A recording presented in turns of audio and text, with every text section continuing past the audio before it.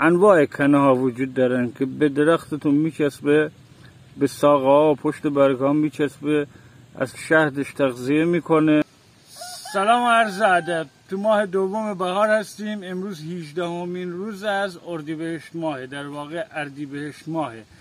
و ما امروز قراره که سنپاشی انجام بدیم برای درختان مرکبات.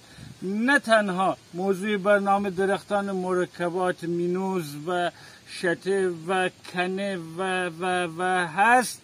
این حشرات هست.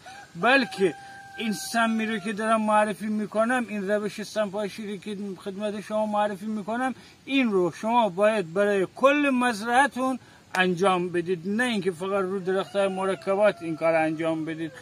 کنه ها توی این فصل حتی رو درخت های چنار هم هستن. فقط توت فرنگی و یا چایی رو اینا رو که میچینید یا نعنا رو که برگش و اینا رو می‌خورید ناگزیرید که اونا رو سم‌پاشی نکنید. و این ویدیو رو دعوت می‌کنم شما رو حتما تا انتها ببینید. تو هر ویدیو من تاکید می‌کنم. دوست عزیز من ویدیو رو تا انتها ببین. وسطای ویدیو پایان ویدیو من نکاتی ارزنده خدمت شما عرضه می‌کنم. توی این آفتاب به خاطر زحمت می‌کشم. لطف بکن. اگه subscribe هم نکردی subscribe کن. همین حالا با لایک کردن و کامنت گذاشتنم حمایت بکن. وقتی از ویدیوهای من خوشت اومد و با هم دوست شدیم دیگه کار تمومه. ویدیوها رو تا پایان ببین تا نکاتی رو از دست ندی. بعضی هم میان سوالاتی می‌پرسن. من متوجه میشم که ویدیو رو تا پایان تماشا نکردن. بریم سراغ اصل کارمون. امروز قرار با بیماری ها و آفت های درختان مرکبات شامل نارنگی ها، لیمو ها، پرتقال ها آشنا بشیم و راه مبارزه و پرورش درختان سالم. حالا البته من گفتم فرابون ولی دیگه نه تا این هست اینو من مقداری از این میوهاش رو حذف می‌کنم در آینده. همونطوری که اینجا می‌بینید توی این تصویر می‌بینید بعضی از این میوه ها وقتی هنوز کوچیکن سیاه شدن. ببینید این میوه ها با دست زدن من نمیافته. یعنی میوه هایی هستن که اینا درخت قدرت اینو داره که تمام این میوه ها رو به سمر برسونه. اما اینا آفت گرفته. این گلبرگ های روی این میوه باعث این خرابی شده.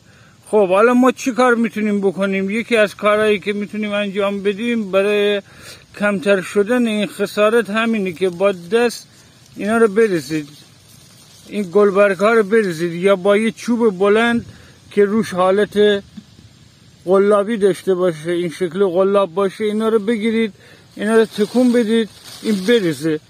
اگه روزهایی که باد باشه باد خودش طبیعت اینا رو میریزه. ما چند دسته از آفت ها و حشرات داریم که از درخت تغذیه می‌کنن و بهش آسیب می‌زنن. یکی از اونها حلزونه البته این آسیب مربوط به فصل زمستانه. من اینها رو گذاشتم که توی ویدیو بعدی حرس اینها رو به شما توضیح بدم و بگم حرس سبز مرکبات چه موقعی چه شکلی باید انجام بدیم. یکی دیگه از های مخرب مرکبات کنه ها هستند. انواع کنه ها وجود دارن که به درختتون میچسبه به ساقه ها و پشت برگ ها میچسبه از شهدش تغذیه می‌کنه و این حالت ابری و این پنبه فرمی که روش هست اینا تخمشه. اینو با شته آردالود اینا رو اشتباه نگیرید. یکی دیگه از آفت ها مینوزه. مینوز هم که یک نوع پروانه سفید رنگ کوچیک مگس در واقع.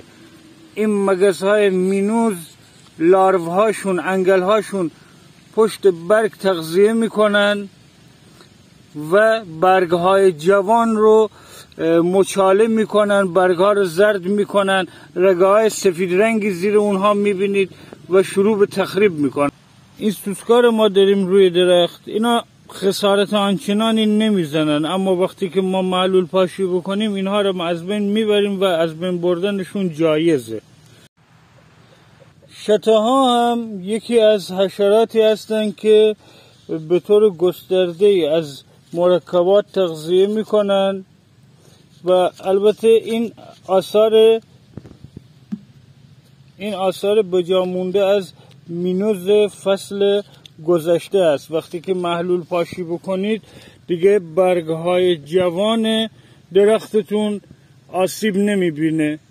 مینوز ها و شته ها مستقیما با برگ های جوان کار دارن با ساقه های جوان کار دارن. درخت مرکبات هم به این شکل هست که سال بعد روی این جوانه های امسال میوه تولید می‌کنه. و شما با حرس کردن و نگهداری از این شاخه های جوان درخت رو تربیت می‌کنید برای محصول آوری سال آینده. این لکه سیاه رنگ هم اینها هم به خاطر نوع آفته اینا از دست قارچ ها نیستن اینا هم از کنه ها هستن. ببینید کنه های هستن. این رو عرض می‌کنم. برای اینکه توی فصلی که شکوفه داره سنپاشی بکنیم یا نکنیم هنوز بین تمام این کشاورزا چیز هست اختلاف وجود داره. بین کارشناسا اختلاف وجود داره.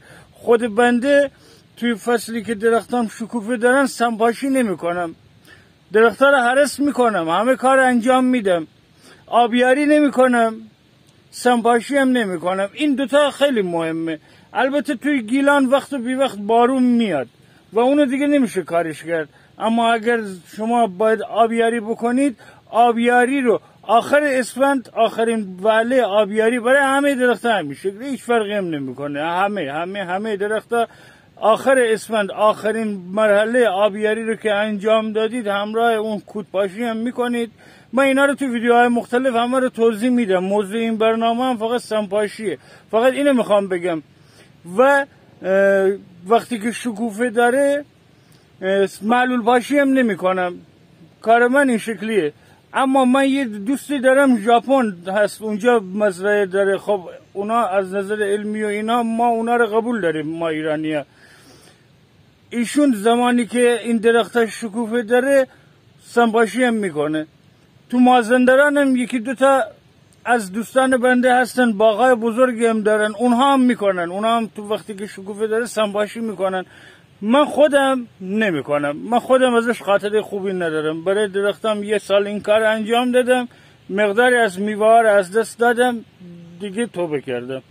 خب چیکار بکنیم؟ ما باید تو زمستان روغن ولک سنباشی بکنیم. شته ها رو و مینوزو خیلی رو اون از بین می‌بره. یه بار اگه کنکوش هم بزنیم اسفند ما یعنی حتی تو هفته اول بهار یه دونه کنکوش هم بزنیم دیگه عالی عالی درختمون تضمین میشه تا امروز. 45 روز اینا از بهار گذشته. الان دیگه شکوفه ها 80 درصدش ریخته یعنی تبدیل به میوه شده. و یه 15 20 درصد از شکوفه ها روش مونده. من هنوزم منتظر میمونم هفته دیگه اینا رو معلول پاشی بکنم. امروزم به شما دارم اینا توصیه ها رو میدم که شما آماده باشید تو هفته آینده وقتی چند روز هوا خوب بود شروع بکنید معلول پاشی بکنید. حتما این کار بکنید. این معلول پاشی ها و این کودهایی که به شما میگم و استفاده بکنید بذار نتیجه بگیرید.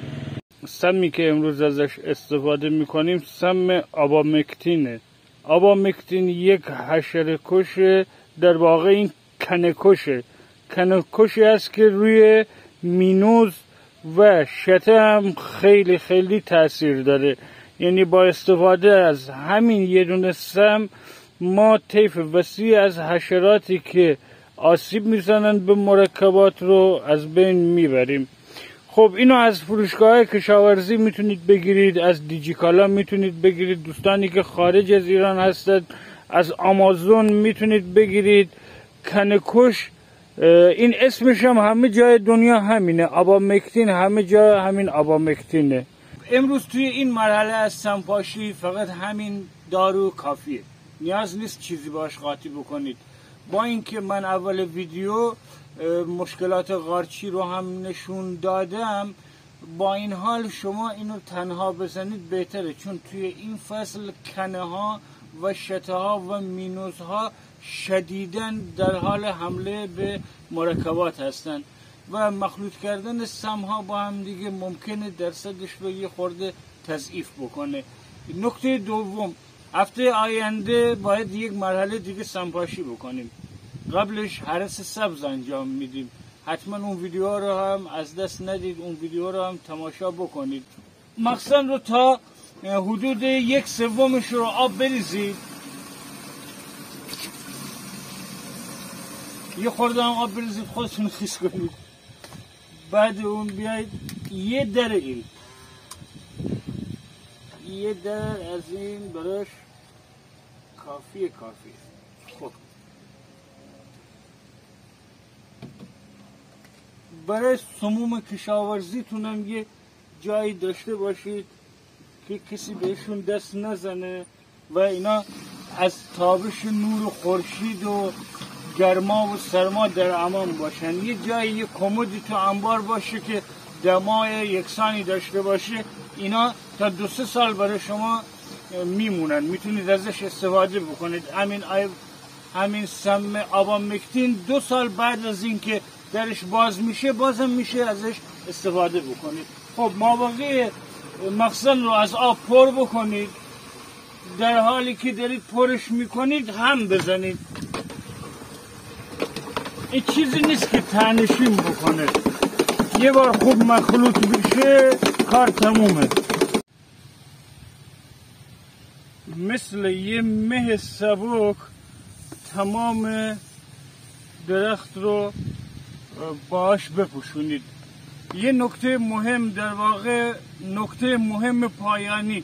این سم جذبی هست اثر تماسی داره اثر جذبی داره اما جذب بافتگیاه نمیشه. این یک دومین مطلب و مهمترین مطلب اینه که این سم برای زنبور اصل ضرر داره و شما اینو تو ساعت غروب استفاده بکنید که زنبورا تشریف بردن.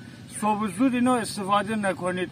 بعد روز بعد که زنبورا میان دیگه کاری به اونا نداره. یعنی شاید پنج درصد از زنبورا صدمه ببینن و ما نمی‌تونیم درختامونو فدای حشرات بکنیم. ممنونم که تا پایان ویدیو همراه من بودید. ممنونم که لطف می‌کنید با لایک های خودتون با کامنت های خودتون به من انرژی می‌دید و به طور گسترده کانال رو حمایت می‌کنید. تا ویدیوی بعد در پناه خدا باشید.